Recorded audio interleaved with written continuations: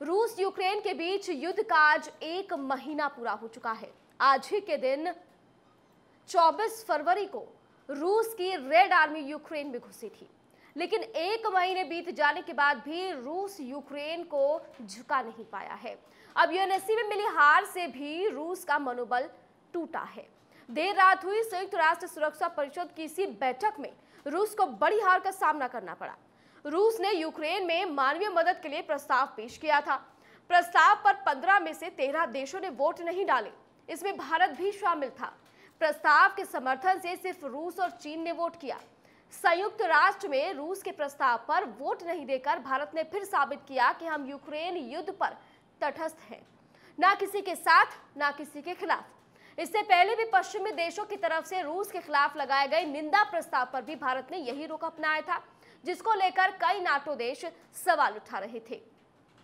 तो एक महीना पूरा हो चुका है इस महायुद्ध का, लेकिन एक महीने बाद भी यूक्रेन झुकने के लिए तैयार नहीं है और रूस पीछे हटने के लिए तैयार नहीं है। ऐसे में कई देशों ने कई प्रतिबंध रूस पर लगाए हैं। ऐसे में कहीं ना कहीं रूस का मनोबल जो है, वो अंतर्राष्ट्रीय तौर पर टूटता हुआ, कम होता हुआ नज़र आ रहा है।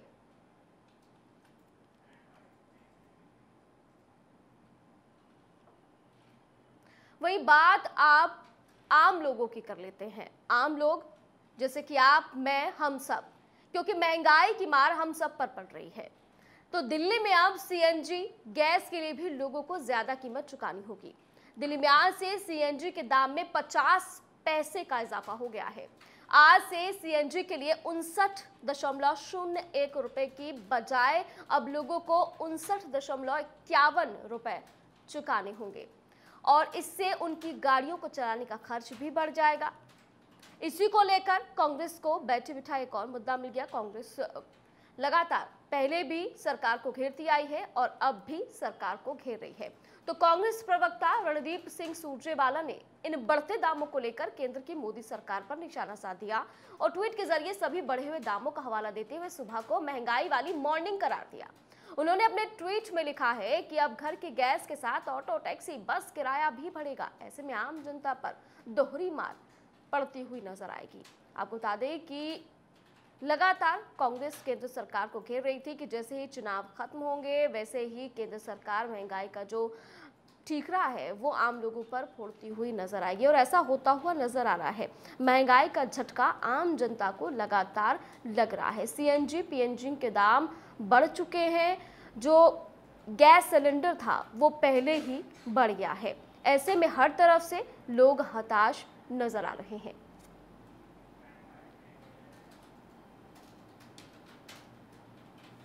वही बात अब पश्चिम बंगाल की होगी। पश्चिम बंगाल के वीरभूम में जो दर्दनाक घटना घटी, उसे बंगाल से लेकर दिल्ली तक की राजनीति को गरमा दिया।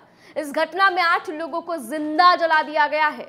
अब राजनीतिक दलों के बीच वहाँ पहुंचकर राजनीतिक रोटियाँ सेकने की होड़ भी लग गई है।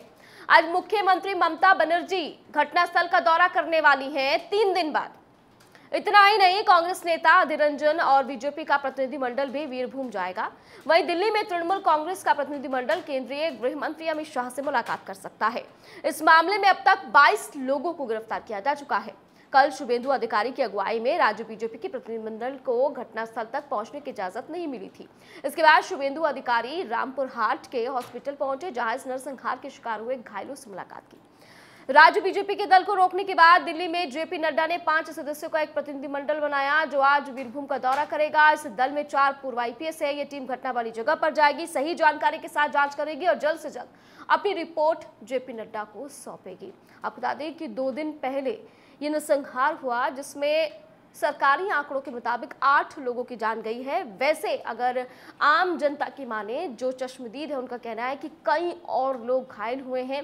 इस पूरे मामले को लेकर राजनीति तो गरमाई हुई है, साथ ही साथ वजह साफ़ नहीं हो पाई है कि आखिर क्या वजह थी और क्यों ऐसा किया गया है। लेकिन बंगाल से लेकर दिल्ली तक जो राजनीतिक रोटियाँ सेकने का काम है, वो पार्टियाँ लगातार करती हुई नज़र आ रही है। तमाम जो प्रतिनिधि मंडल हैं अलग अलग पार्टियों के, वो बंगाल की ओर रुख करते हुए नज़र आ रहे हैं और जानकारी मिल रही है कि सीमा ममता बनर्जी जो है, वो भी वीरभूम का आज दौरा कर सकती हैं।